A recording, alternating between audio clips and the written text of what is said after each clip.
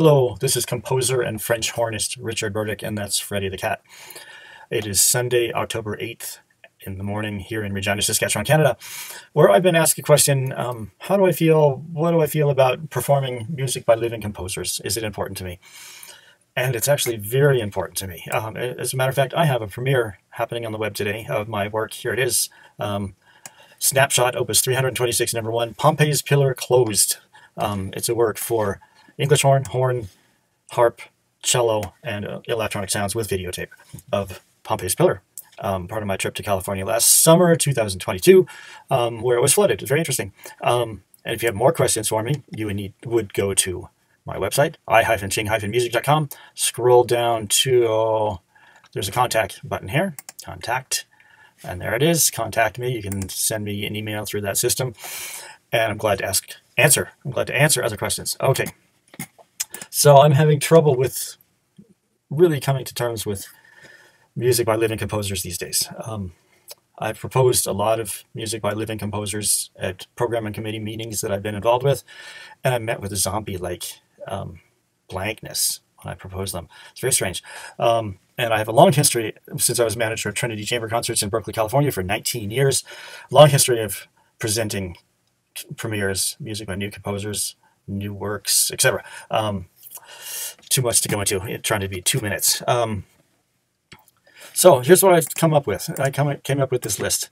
Um, a group being of rather unusual um, instrumentation, not a string quartet or a wind quintet, um, should develop repertoire. And I'm thinking they should accept works from all composers, arrangers, and seek out music for that ensemble, which is sometimes very hard. Um, put in a pile put in a pile, and, and then do two open rehearsals of the music in the order received. So there's there's no criteria, just if it fits the ensemble, we'll read it and do a, a public performance. Um, have the reading sessions open to the public too, so that develop some rapport with the audience. Um, do a free performance where everybody, audience, musicians, maybe management, can vote if they want to hear the music again this is where it doesn't become equal. It becomes personal. Um, so to start with, total equality. No, no consideration. Is it new? Is it old? Is it German? Is it whatever? Totally equal choice. And it's just go through the pile. Um, then the people that want to come to the concerts can vote what they like. And then the group can develop a style of repertoire that fits with what the public want to hear.